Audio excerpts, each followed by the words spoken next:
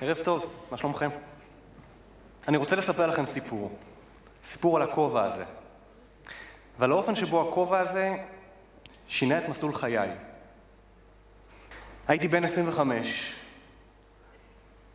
כל החברים שלי כבר אחרי תואר ראשון, בדרך לקריירה, משקיעים לעצמם בעתיד, ואני, אפילו פסיכומטרי עוד אין לי.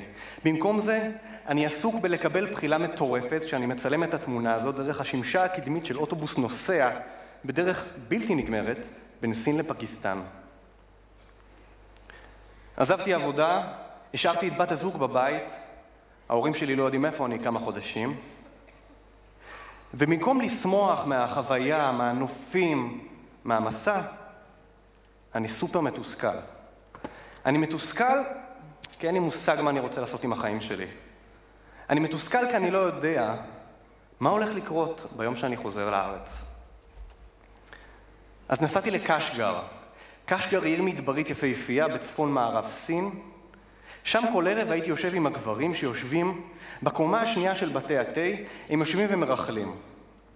הייתי יושב איתם, ולמרות שלא הבנתי את השפה, הייתי מאזין ומרגיש קצת יותר בבית. באחד הימים שמתי לב שלכולם יש משהו משותף. לכולם יש את הכובע הזה. ואני לא יודע למה, אבל החלטתי שגם אני רוצה אחד כזה. בשוק שאל אותי המוכר אם אני רוצה כובע לבן או ירוק. אמרתי לו, מה ההבדל?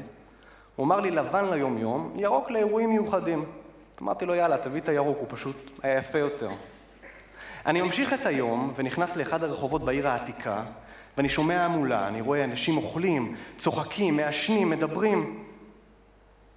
אני ניגש לאדם מבוגר ושואל אותו, חתונה? אז הוא אומר לי לא, עוצם את העיניים ועושה ככה.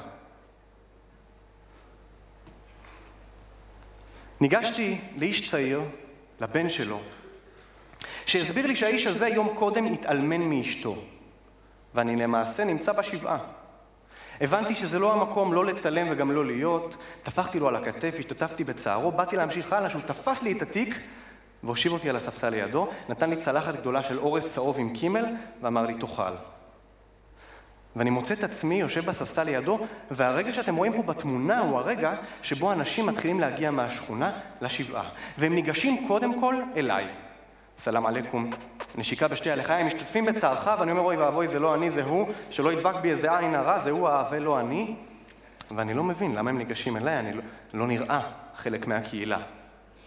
ואז אני מבין, יש לי כובע לאירועים מיוחדים. הם חשבו שאני חלק מהמשפחה. הסיפור הזה על הכובע הקצת מטופש, שעזר לי, למרות שהייתי אלפי קילומטרים מהבית, להרגיש קצת יותר קרוב, היה הסיפור הראשון שפרסמתי בניישנל ג'אוגרפיק. וזו גם הייתה הנקודה המדויקת שבה החלטתי מה אני רוצה לעשות בחיים. אז אני, אני אספן של סיפורים. אבל זה לא סיפורים גדולים, לא סיפורים חדשותיים, זה לא סיפורים שישנו את העולם, אלא סיפורים על אנשים. אנשים שעושים דברים יומיומיים. כשאני מצלם אני לא מחפש את האקזוטי, השונה, אלא דווקא את האוניברסלי. את הדברים האלה שמשותפים לכולנו. אני יכול לספר סיפור על ציפייה, או על אכזבה, סיפור על המתנה, או סיפור על משחק, וגם סתם סיפור על שגרה. שני ילדים שוטפים את הפנים לפני השינה בערבות של קירגיסטן. אגב, הדבר הכי חשוב לגבר הקירגיזי זה הסוס שלו. אני יודע שזה חמור.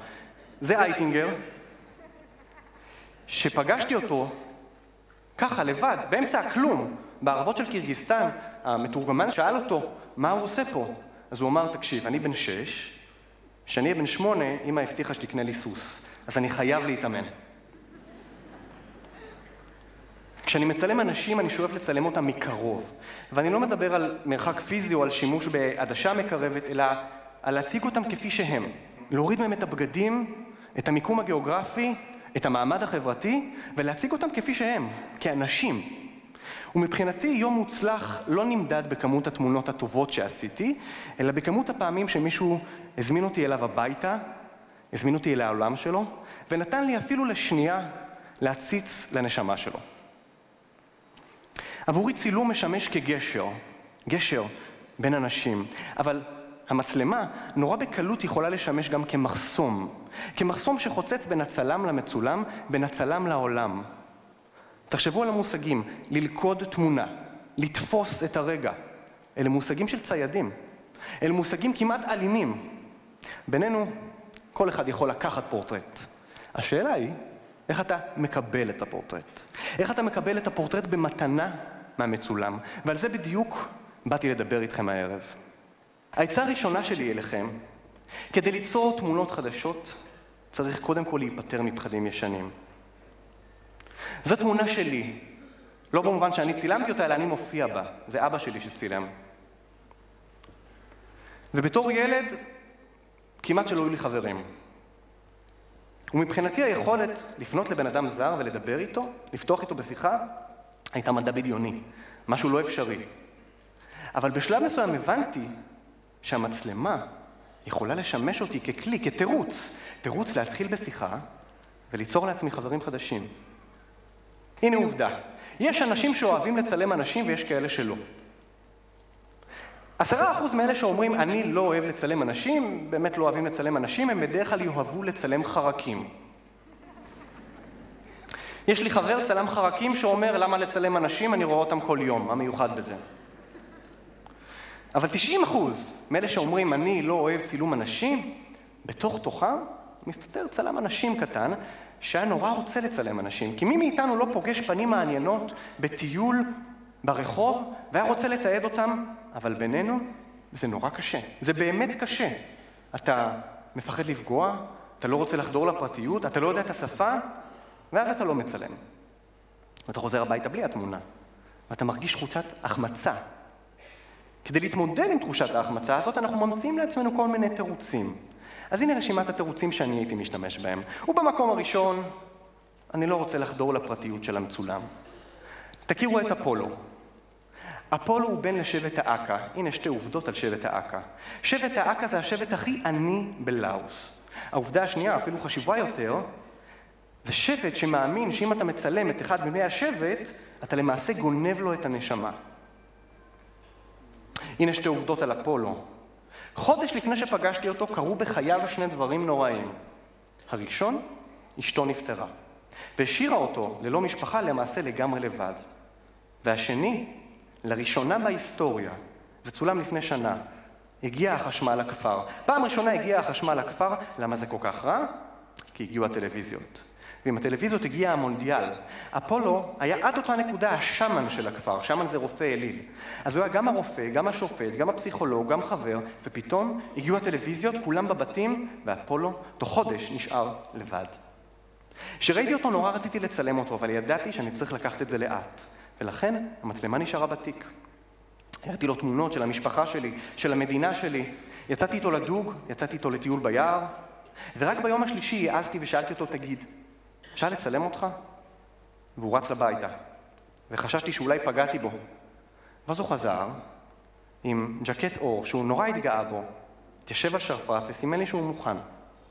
ואז צילמתי אותו תמונה אחת, ומיד הראתי לו. וכשהוא ראה את התמונה על המסך הוא חייך. אולי חיוך ראשון אחרי חודש.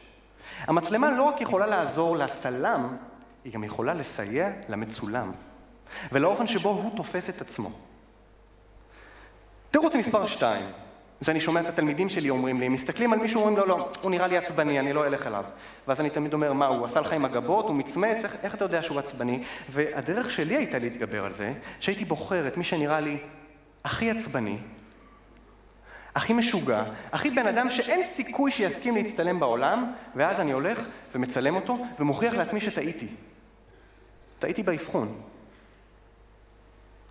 והנה התירוץ האהוב עליי, לצלם אנשים מקרוב יהרוס את האותנטיות של הרגע, כשהמצולם מודע למצלמה זה הורס את הרגע, וזה לדעתי קשקוש. כי המטרה שלנו כצלמים זה לתת כבוד, להתקרב, ואז להפך לשקופים. המצלמה תיעלם והמצולם יחזור לענייניו. לחזור ליום שלו, לעבודה שלו, יחזור לפעילות שלו. אנחנו ניתן כבוד ונעלם אנחנו נוכל לצלם סנטימטרים מהבן אדם, הוא יישאר בשלו, זה לא תמונה מבוימת. אז השאלה איך עושים את זה. השלב הראשון הוא בהחלטה. החלטה לצאת מאזור הנוחות, להעיז, לגשת לבן אדם ולשאול אותו שלום, אפשר לצלם אותך? מתוך הידיעה הברורה שהדבר הכי גרוע שיכול לקרות הוא שיגידו לכם לא. לפעמים התלמידים שלי מספרים לי סיפורי אימה, איך צעקו עליהם, איך איימו עליהם, ואז אני תמיד שואל, זה קרה שצילמת מקרוב או מרחוק כמו גנב? כי אף אחד לא אוהב שגונבים ממנו. אבל אם אתה בא ומבקש, כנראה שהדבר הכי גרוע שיקרה, שיגידו לכם לא. אני צילמתי במקומות שאם תקראו עליהם בעיתון, תחשבו שהם מסוכנים נורא. צילמתי באפגניסטן, צילמתי בשכונות העוני של הרפובליקה הדומיניקנית, או בקהילות דתיות ומסוגרות בטג'יקיסטן. ובשום מקום שהייתי בעולם לא פגעו בי, לא הרביצו לי, לא איימו עליי, לא רצו לשבור את המצלמה. העולם הרבה פחות מסוכן ממה שמספרים לכם בחדשות. אגב, פה אתם רואים שהחלטתי ללכת על הכובע הלבן הפעם, ואיך שאני הולך איתו, חובש אותו על הראש, כולם אומרים לי, וואו, כל הכבוד, איזה יופי, איזה כובע. אני אומר, פי, היופי שלי תופס בטאג'יקיסטן. ואני ניגש לבחור הזה ושואל אותו, תגיד, מה הקטע עם הכובע הלבן? למה כולם מחמיאים לי עליו? הוא אומר לי, תשמע, כל הכבוד. מי שחובש את הכובע הלבן הוא מי שעלה לרגל למכה, כל הכבוד, אתה מאמין, אתה מאמין הדוק, כל הכבוד לך. תודה.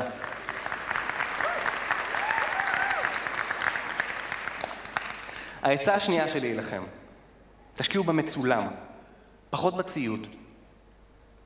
את כל התמונות שלי, כל התמונות שאתם רואים היום, אני מצלם בעדשה אחת. ב-2470, עדשה אחת. את כל התמונות שלי אני מצלם רק בתאורה טבעית. בלי פלאש, בלי פילטרים, בלי חצובות, למה? כי אני רוצה להיות פנוי להסתכל בעיניים של המצולם.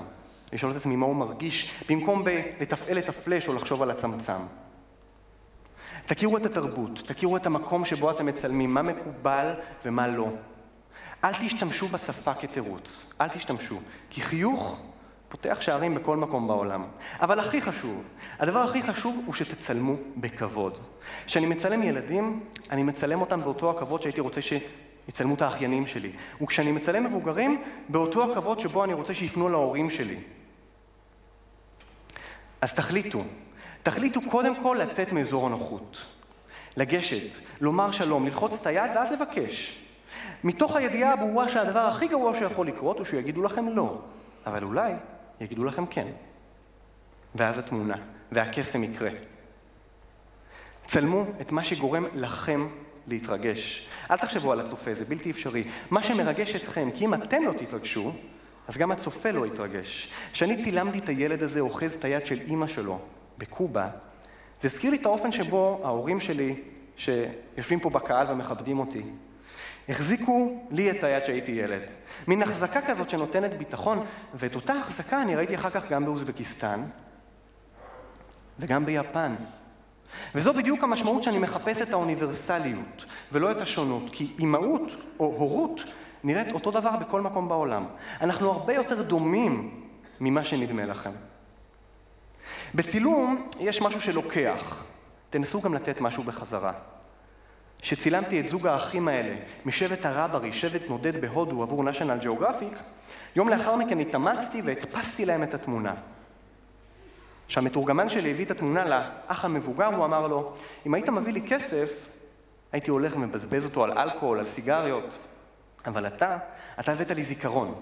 אתה הבאת לי תמונה עם אח שלי, משהו שאף פעם לא היה לי. אבל השאלה היא, אחרי שנתתם כבוד, אמרתם שלום, לחצתם את היד, איך באמת מגיעים לרגע הזה שבו אתם נהפכים לשקופים?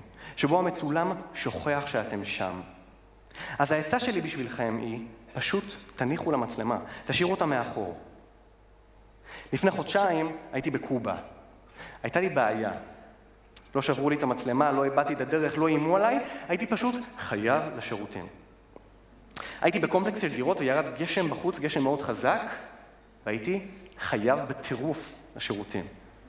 אז בלית ברירה דפקתי באחת הדלתות, פתח לי האיש הזה, בחור בשם עתידו, ושאלתי אותו באנגלית, תגיד, איפה השירותים הציבוריים? הוא כמובן לא הבין מילה, אז עשיתי לו קצת קולות של מים, ואז הוא הבין, ונתן לי להיכנס פנימה לבית שלו. אמר לי, בוא, כאן. בזמן שהייתי בשירותים שלו, הוא הכין לי קפה. וחוץ מהתמונה הזאת, התמונה היחידה, לא צילמתי אותו. כל כך נהניתי מהאינטראקציה איתו, מהעובדה שהוא פתח את הדלת ונתן להיכנס לבית שלו. הוא הראה לי תמונות של המשפחה שלו, אני הראיתי לו את שלי, ואחרי זה, אחרי שעה או שעתיים, הוא לקח אותי להכיר את החברים שלו ואת השכנים שלו, במה שהפך עבורי לפרויקט צילום ארוך טווח, שרק לפני כמה שבועות התפרסם בבלוג הצילום של national geographic האמריקאי. תודה. תודה. פרויקט צילום על הזקנים של מרכז קובה של סימפרגוס, אנשים נפלאים שהסכימו להכניס אותי אליהם הביתה, שהסכימו להשמיע לי את הסיפור שלהם, שהסכימו שאני פשוט אהיה שם, איתם. אז לסיכום, תחליטו לצאת מאזור הנוחות, לגשת ולבקש, מתוך הידיעה שהדבר הכי גרוע שיגידו לא. ואז תחכו לרגע הזה שבו אתם נהפכים לשקופים, והקסם יקרה. את התמונה הזאת לקח לי שלוש שנים לצלם. התמונה עצמה, הצילום עצמו לקח מאית שנייה, אבל שלוש שנים לקח לי לשכנע את מיכאל, שהוא בכיר הנזירים בקהילה הנוצרית בירושלים, קהילה אתיופית כמובן, שלוש שנים לקח לי לשכנע אותו להצטלם. הוא אף פעם לא רצה. מה גרם לשינוי הפעם? הבאתי תמונות מודפסות לחברים שלו. הוא ראה את התמונות וכנראה קינה, והוא בא ואמר לי, עודד, אני מוכן, צלם. כל כך התרגשתי, עשיתי שני קליקים, מבלי בכלל לראות מה יצא. שבוע אחרי זה הבאתי לו את התמונה מודפסת.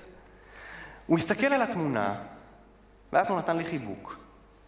וידעתי שעשיתי לעצמי עוד חבר חדש. ואז הוא שוב בחן את התמונה והסתכל לי בעיניים ואמר לי, רק עודד, בפעם הבאה שלא תעז לחתוך את הכובע. תודה. תודה רבה.